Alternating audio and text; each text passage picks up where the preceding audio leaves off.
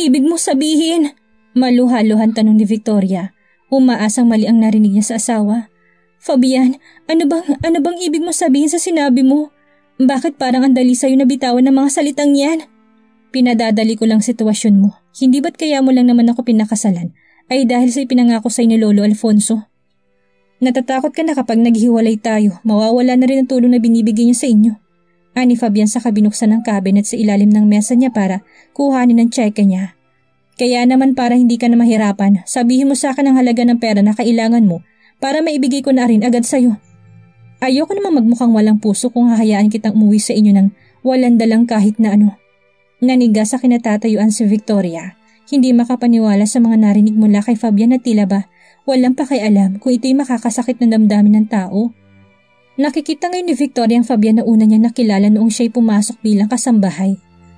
Sa sinasabi mo ngayon, mas nagmumukha kang walang puso, ani Victoria. Pilit na pinipigilang kumurap ang mata dahil sa luhang namumuo sa kanya.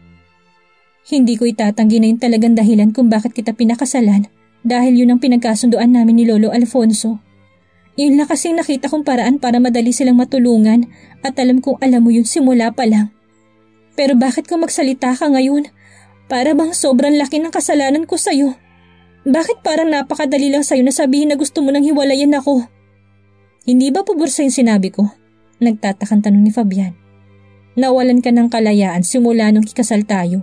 Hindi ka nagkaroon ng pagkakataon na magmahal ng malaya kaya naman siguro ganitong ginawa mo. Pinakilala mo sa akin si Noah bilang teacher mo para ituloy ang naudlot yung relasyon ng mga bata pa kayo.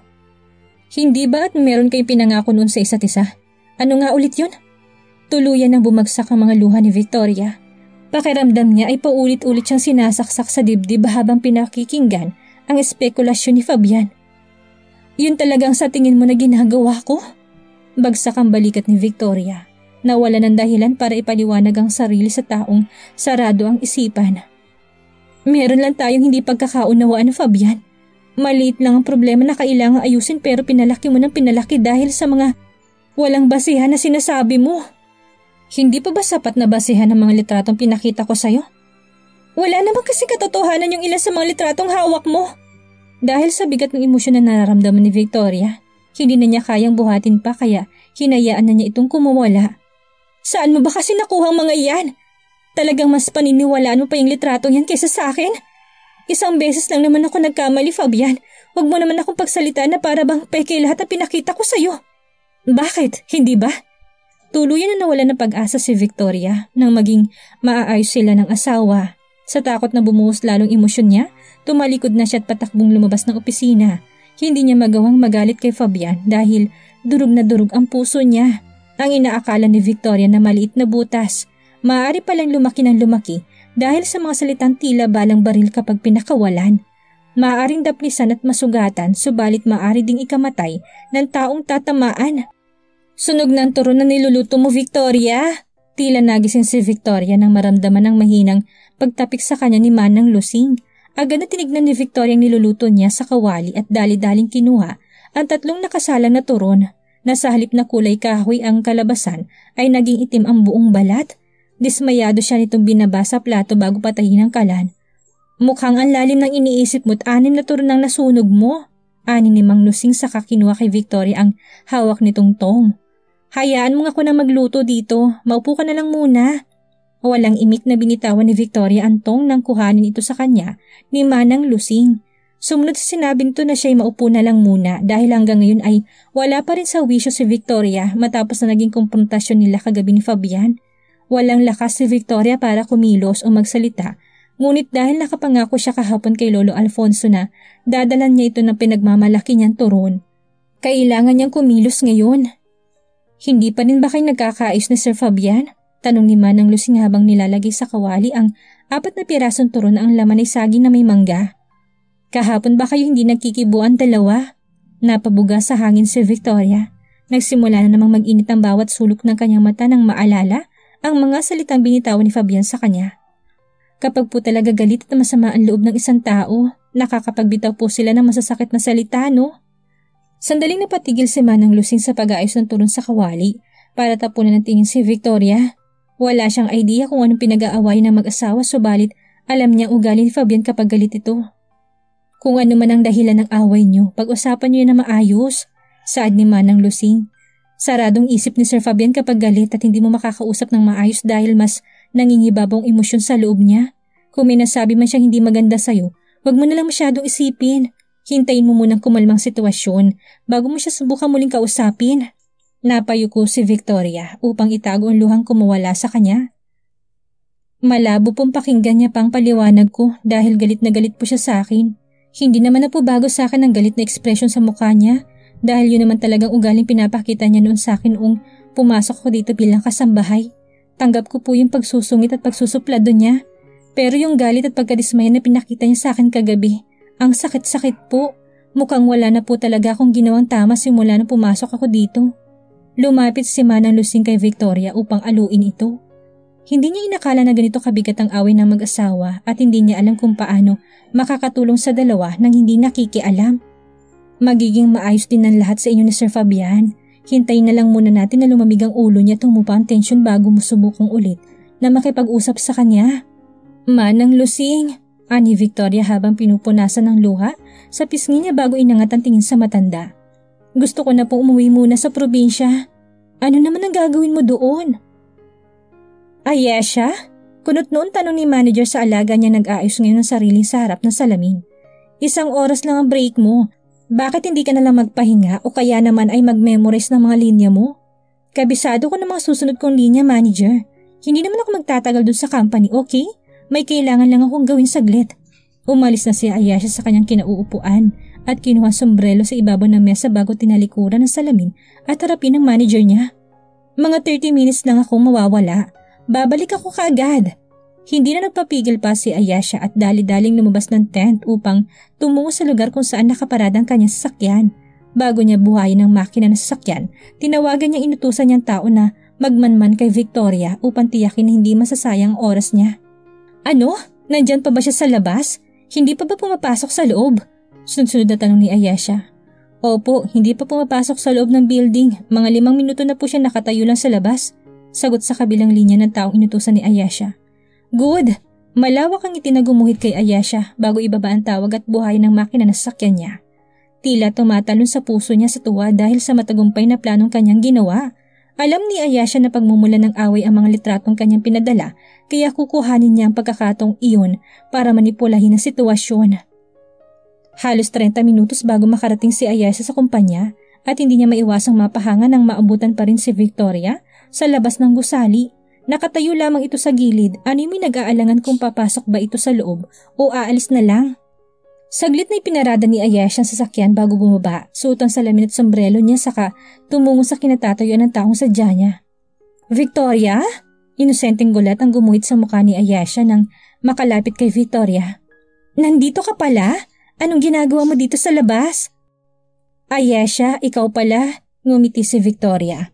Subalit hindi nakaligtas kay Ayasha ang namumugto nitong mata. Ah, bala ko sanang puntahan si Fabian para dalhin itong pagkain. Nagluto kasi ako ng turon para sa kanila ni na Lolo Alfonso. Lolo Alfonso? You mean si Chairman Del Rosario? Nasa loob ba siya ngayon?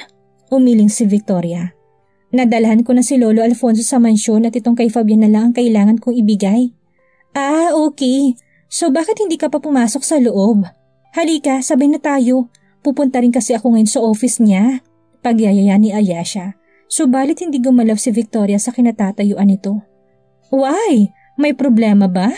W- wala naman. Napayuko si Victoria, humigpit ang kapit sa paper bag na kanyang dala habang nagtatalong isip kung tutuloy pa ba. Magkaaway ba kayo? Sa tanong ni Ayesha, napaangat ang tingin si Victoria. I mean, hula ko lang naman yun. Dahil kung pagbabasayan ng aura mo ngayon, mukha kasi hindi ka komportable. Hindi ka naman ganyan sa tuwing nakikita tayo. Ang bubbly mo kaya palagi. Malungkot nang iting gumuhit sa labi ni Victoria. Meron lang kaming hindi pagkakaintindihang dalawa. Sinusubukan ko makipag-ayos pero mukhang sarado pang isip ni Fabian. Ayaw niya pakinggan ang paliwanag ko. Pinigilan ni Aya siyang ngumiti. Oh, ganun ba? Pero bakit ikaw ang sumusuyo sa kanya? Hindi ba dapat siyang gumagawa nun? Ako kasi ang may kasalanan. Nahihiyang sagot ni Victoria. Ngunit sunod-sunod na umiling si Ayesha. No offense ha, pero kung mahal ka talaga ni Fabian, hindi ka niya hayaang manuyo ng ganyan. ani Ayesha. Kung ano man ang hindi niyo pagkakaintindihan, dapat idaan yan sa maayos na usapan. Hindi yung pagmumukhain kanyang kawawa at desperada. Know your worth, Victoria. Ayesha, ako kasi ang may kasalanan dito kaya sa tingin ko, dapat lang nasuyuin ko siya para ipaliwanag ang sarili ko, di ba? Yes, pero ang sabi mo kasi kanina, ayaw kanyang pakinggan. Hindi pa ba sapat na dahilan yun para ma-realize mo na mali ang ginagawa niya sa'yo? Ani Ayesha dahilan para manahimik si Victoria at matulala sa kawalan. Tumikim si Ayasha. Anyway, advice ko lang naman yun bilang isang babae. Baka isipin mo, hindi, may punto naman ang sinabi mo. Ani Victoria saka bumaba ang tingin sa paper bag na hawak niya. Ayesha, po pwede bang makisuyo, ikaw na lang ang mag-abot nito kay Fabian at pakisabing may sulat sa loob. Alam ko kasi hindi niya ako kakausapin kaya dinaan ko na lang sa sulat. Sulat? Takang tanong ni Ayesha bago tanggapin ang paper bag sa kasinilip ang loob. Nakita niyang isang nakatuping papel sa ibabaw ng food container. Sure ka ba na hindi ka napapasok sa loob? Umiling si Victoria. Mauna na rin ako Ayesha, maraming salamat. Agad na tumalikod si Victoria at naglakad pa alis. Naiwan si Ayesha sa tapat ng gusali habang bitbit ang paper bag na naglalaman ng pagkain at sulat ni Victoria. Chip! Saad ni Ayesha bago lumakad sa basurahan para itapon ang hawak niya. Alas 6 na ng gabi natapos ang lahat ng schedule ni Fabian. Tapos na niyang pirma ng mga kailangang pirmahan na tatapos na rin niya at tatlong sunod-sunod na meeting sa araw na ito. Ramdam niya ang pagod, subalit pinanatili pa rin niyang abalang sarili upang hindi maalala ang naging pagtatalo nilang mag-asawa. Sir Fabian, inangat ni Fabian ang tingin sa sekretary niyang pumasok sa opisina. Nahihiya itong umiti Mm, magpapaalam po sana ako. Since wala naman po kayong schedule ngayon, pwede po bang umuwi ng maaga? First mansari po kasi namin ngayon ng boyfriend ko and may dinner date po kami ng alas 7. You may go now. Tipid na sagot ni Fabian na ikinalawak ng ngiti ng sekretarya bago ito lumabas ng opisina. Binalik ni Fabian ang tingin sa laptop niya nang biglang tumunog ang cellphone niya na nasa ibabaw ng mesa. Rumihistro ang pangalan ni Julio. Kaagad niya itong sinagot ni Fabian. Saka sumanda sa swivel chair niya. Walang photoshop na nangyari sa mga pictures na pinadala mo. Ang agad na bungad ni Julio sa kabilang linya na hindi na nagpagulat kay Fabian. Sige, salamat. Ang tanging tugon ni Fabian. Binalak niya ibaba ng tawag na magsalita ulit si Julio. Pero sa tingin ko, hindi naman si Victoria ang babaeng nasa ibang litrato. Anito. Base sa comparison na ginawa ko kanina, meron silang facial picture na hindi nagtutugma. Nagsalubong ang kilay ni Fabian. Kagaya ng oval shape ang mukha ni Victoria sa isang litrato na kuha sa bahay ampunan. Close-up kaya madaling malaman ang shape ng mukha niya. Ito namang isa nakuha sa labas ng subdivision, heart shape. Nakatali ang buhok niya rito. Merong nunal sa batok na hindi ko naman nakita sa ibang litrato ni Victoria sa bahay ampunan. Paliwanag nito. Isa pa, mahabang buhok ni Victoria na malapit nang umabot sa siko niya. Pero yung isang litrato dito kung saan kasama ni Victoria sinawa sa tapat ng motel hanggang sa kilikili lang umabot yung buhok niya. Natahimik si Fabian, hirap na may prosesong mga sinabi ni Julio. Dahil kung talagang totoong magkaibang taong tinutukoy nito, sino ang isa at bakit kamukha ito ng asawa? Hanggang sa biyahe pa uwi, hindi tinigilan ni Fabian ng mga tanong sa isip niya. Paulit-ulit niya naririnig ang sinasabi ng pinsan at isama pang mga pagpapaliwanag ni Victoria tungkol sa mga litrato. Good evening po Sir Fabian. Magalang na pagbati ni Sarah kay Fabian nang magkasalubong ito sa sala. Inilibot ni Fabian ang tingin sa paligid bago ibaling ang tingin kay Sarah. Nasaan siya? Gulat at pagtatakang rumihistro sa mukha ni Sarah. Po, po? H- hindi po ba't pumunta si Victoria sa opisina niyo? Ano namang gagawin niya doon? Napalitan na lungkot ang mukha ni Sarah, hindi agad nakasagot hanggang sa lumitaw si Manang Lusing. Nasaan si Victoria? Tanong muli ni Fabian sa mayordoma na may kaparehong ekspresyon sa mukha ni Sarah. Umuwi po siya sa probinsya nila ngayong hapon. Anito dahilan para tuluyang mablangkong isip ni Fabian. Dumaan po siya kanina sa kumpanya para dalhan kayo ng meriendang ginawa niya at makapagpaalam sana sa inyo. Hindi niyo po ba siya nakita doon? Wala nagsabi sa akin na nandun si Victoria. Napatiimbagang si Fabian bago hugutin ang cellphone sa bulsa para tawagan ang numero ng asawa. Nang magring ang cellphone nito, rinig na rinig ito ni Fabian at nagmumulayin kay Sarah. Iniwanan po ni Tori ang cellphone niya. Nilabas ni Sarah ang cellphone mula sa bulsa ng uniform niya upang iabot ito kay Fabian. Hindi raw po niya kayang dali ng mga gamit na galing sa inyo.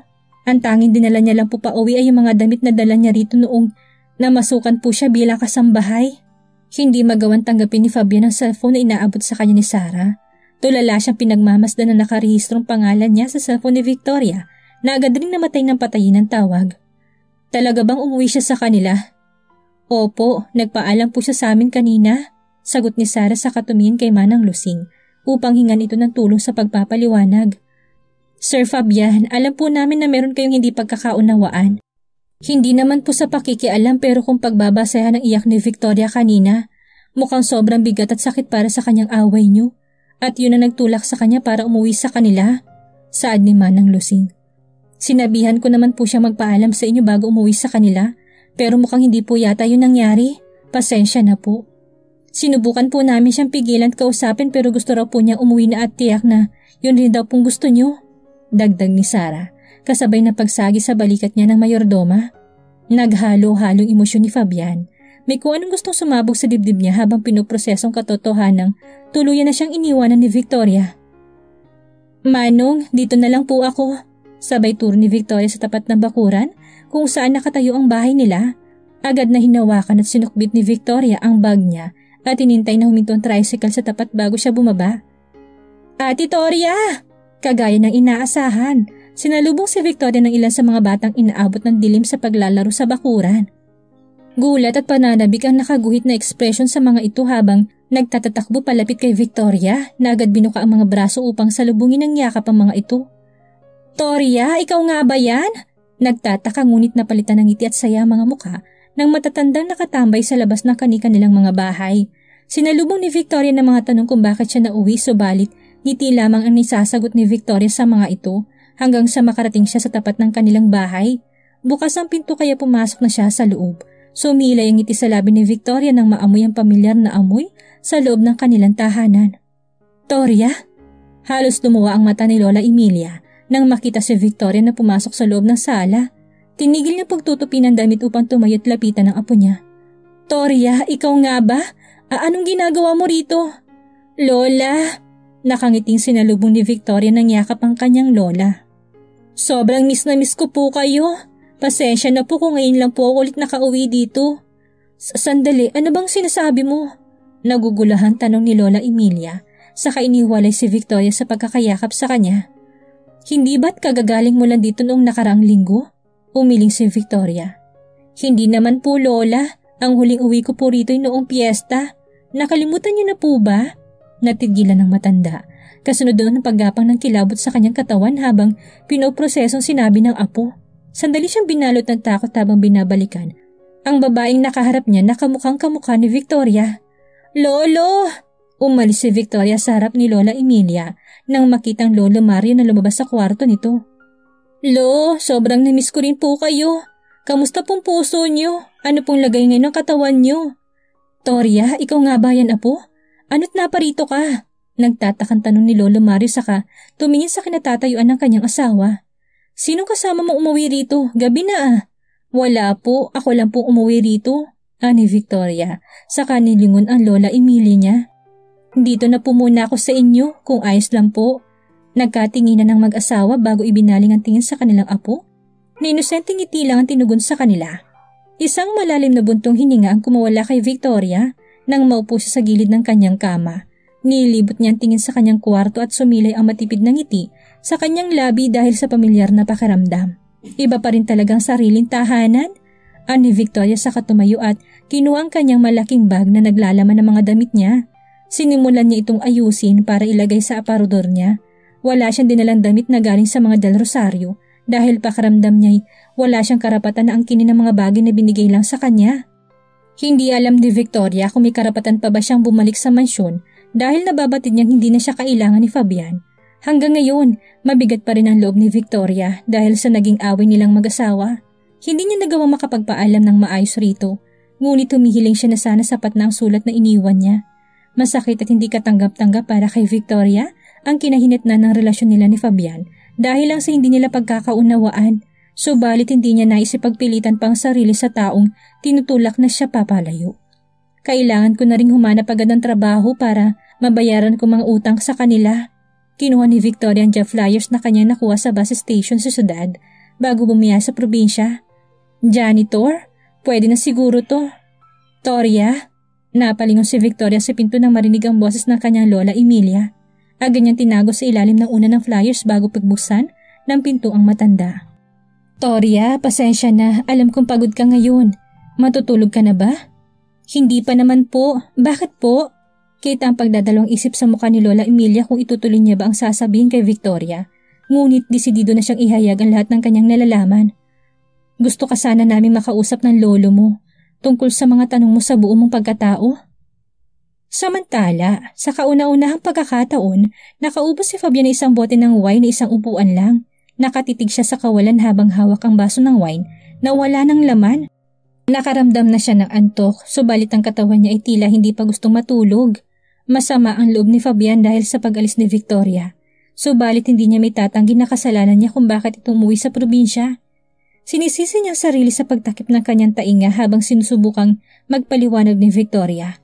Alam ni Fabian na masyado siyang naging malupit sa mga binitawang salita dahil nagpakain siya sa emosyon niya at sinabayan pa ng mga tsoryang na buo sa isip niya patungkol kay Victoria at Noah. Hindi kinain na kontrolin ng selos at galit dahilan upang lalong gumulo ang sitwasyon nila Umalis mula sa pagkakaupo sa swivel chair si Fabian para lumabas na opisina niya. Tumungo siya sa kwarto at katahimikan ng sumalubong sa kanya. Walang Victoria na nakangiting sumasalubong sa tuwing siya ay uuwi at tatanungin kung kamustang araw niya. Mariing napapikit si Fabian at nagpakawala na lamang ng malalim na buntong hininga bago lumakad patungo sa kama. Ibinagsak niya ang katawan at tila nabuhay ng loob niya nang maamoy ang buhok ni Victoria sa una na pinagbaksakan niya. Ipinikit na lamang ni Fabian ang mata sa pag-aakalang makakatulog siya agad. Subalit paulit-ulit niyang narinig sa isip ang boses ng asawa na tinatawag ang kanyang pangalan. Tila may kung anong pumipiga sa dibdib ni Fabian, rason upang tuluyang kumawala ang luha sa kanyang mga mata. Dala ng pangungulila at kalungkutan. Malamig ang mga kamay ni Victoria habang nakaupo sa sofa, kaharap ang Lola Emilia at Lolo Mario na nakaupo naman sa kabilang sofa na nasa harap ni Victoria. Alas 9 na ng gabi. Tahimik ng paligid dahil karamihan sa mga kapitbahay ay nasa loob na ng kanilang mga tahanan. Patawarin mo sana kami kung ngayon lang namin ito sasabihin sa iyo, Toria. Akala ko kasi may tatago ko ito ng matagal na panahon. Pero talagang darating ang panahon na kailangan namin sabihin na sa iyo totoo. Bago pa maling impormasyon na makarating sa iyo. Panimula ni Lola Emilia. Hawak ang isang litrato ng kanyang inabot sa apo Kinuha ni Victoria isang lumang litrato at isang pamilyar na mukha ng binata ang nakita niya rito. Kung hindi po ako nagkakamali, siya po yung anak niyo, hindi po ba? Tumango si Lola Emilia sa kainawakan sa kamay si Lolo Mario na tumango sa asawa upang bigyan ito ng senyas na ituloy ang pagpapaliwanag kay Victoria. Siya ang uniko iho namin, si Juan at siya rin ang iyong ama, Victoria. Sad nito dahilan para manlamig ang buong katawan ni Victoria. Dumadagungdong ang kaba sa puso habang pinagmamasdan ang lumang litratong hawak niya. Alam kong matagal mo nang tinatanong sa amin kung sinong nasa litratong yan, pero pinili kong hindi sagutin dahil hindi ako handang ikwento tungkol sa anak ko. Hindi ko gustong balikan ang nangyaring trahedya sa iyong ama dahil sa kagagawa ng iyong ina. Napaangat ang tingin ni Victoria sa dalawang matanda. Ano po bang nangyari sa kanila? Napayo ko si Lola Emilia kaya si Lolo Mario ang nagpatuloy ng kwento. Tutol kami sa pagmamahalan ng mga magulang mo dahil ang angkan ng iyong ina ay makapangyarihan noong araw. Hindi nila tanggap na ang kanilang unika iha ay makakapangasawa na isang probinsyanong isang kahit isang tuka ang kinabubuhay. Sobra ang pagmamalit nila sa ama mo kaya tutuloy rin kami sa pagsasama nilang dalawa hanggang sa nakabuo sila at pinalayas ang iyong ina sa kanila. Nanatiling tikom ang bibig ni Victoria. Hindi niya akalaing ganun ang pinagdaanan ng magulang niya. Dito sila tumira sa bahay na ito. Dalawang trabaho sa isang araw ang pinasukan noon ng ama mo para makapag-ipon sa inyong mag-iina. Kung tamang pagkakaalala ko, tatlo hanggang apat na oras lang minsan na naging tulog ng ama mo dahil madaling araw pa lang ay gigising na siya para simulan ang trabaho niya at gabi nang nagiging uwi niya noon, pagpapatuloy nito. Kitang-kita namin kung gaano ako porsigido si Juan para sa mga plano niya sa inyo. Wala akong reklamong naririnig sa kanya dahil kahit masama pakaramdam niya, pumapasok pa rin siya sa trabaho. Sobrang bait ng ama mo, Victoria. Kaya hindi ko maintindihan kung bakit kailangan niyang maranasan yun kung ang nais lang naman niya ay mabigyan kayo ng maayos na buhay mag-iina. Ano po bang dahilan kung bakit siya namatay? Hindi po ba't aksidente? Bakas ang takot sa boss ni Victoria dahil pakaramdam niya mas malala pa sa iniisip niya dahilan kung bakit namatay ang kanyang ama. Pinatay siya, sagot ni Lola Emilia. Lumuluha dahil sa pait na nakaraan na hindi na niya nais pambalikan. Pinalabas lang nilang aksidente pero alam kong pinatay ang anak ko. Maraming nakakita na may kotseng bumangga sa kanya noong gabing pauwi na siya galing trabaho. Napalakahan ang sasakyan na yun at pagmamayari yun ng magulang ng ina mo. Pero wala nakinig sa amin kinabali walang kamatayan ng iyong ama. Tuluyang kumawala ang luha sa mga mata ni Victoria. Nanginginig ang kanyang kamay habang pinoproseso mga narinig kay Lola Emilia.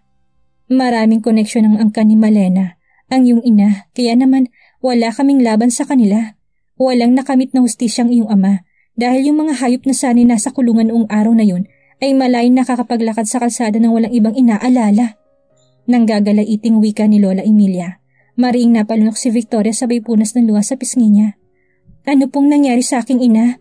Ano pong ginawa niya nung nalaman niyang may kinalaman ng pamilya niya? Wala. Wala rin siyang nagawa dahil simula nung mabuntis siya. Itinakwil na rin siya ng sarili niyang pamilya. Saad ni Lolo Mario kaya lalong bumagsak ang balikat ni Victoria. At isang linggo matapos mamatay ang iyong ama, nagsilang si Malena ng dalawang sanggol. Dagdag ni Lola Emilia sa katinignan sa mga mata si Victoria. Kambal ko yung sinilang Mula sa pagkadurog, tila muling nabuong puso ni Victoria dahil sa kumpirmasyon narinig niya. Ta talaga po, may kambal nga ako. Nanginginig ang mga labi ni Victoria. Muling naluha dahil naman sa tuwa at galak na nararamdaman niya. Nasaan na po siya? Kilala niyo po ba? Ang masayang ngiti sa labi ni Victoria ay unti-unti naglaho nang makita ang malungkot na ekspresyon sa mukha ng dalawang matanda. Lola, ba- bakit po ganyan ang mukha niyo? A- ano pong problema? Inilipat ni Victoria ang tingin kay Lolo Mario.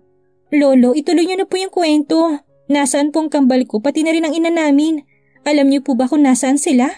Iniwanan ka sa amin ni Malena Apo, sagot ni Lola Emilia. Isang buwan matapos kayong isilang, umalis ang iyong ina nang hindi nagpapaalam sa amin. Umaga nang makita ka namin mag-isa sa kwarto at wala nang gamit ng iyong ina at ng kakambal mo. Sa pagkakataong ito, hindi na alam ni Victoria kung ano dapat na maramdaman niya dahil naghalo-halo ng mga emosyon niya. Labis ang kanyang pagkadismaya at lungkot sapagkat hindi niya inakalang magagawa siyang iwanan ng ina habang ang kakambal niya sinama nito sa pag-alis. Wala na kaming balita sa kanya simula noon. Pero sa tingin ko, bumalik siya sa pamilya niya. Sa pamilyang pumatay sa iyong ama. Hindi matukoy ni Victoria kung may galit ba sa loob niya sa ginawang pag-abandon na sa kanya ng ina Subalit hindi mapagkakaila na may pagtatampo at may katanungan sa isip kung siya ba ay walang karapatang makaramdam na pagmamahal na galing sa isang ina. Tilaok ng manok ang gumising kay Victoria, nilang oras lang ang naging tulog dahil sa nangyaring revelasyon sa pagkatao niya kagabi.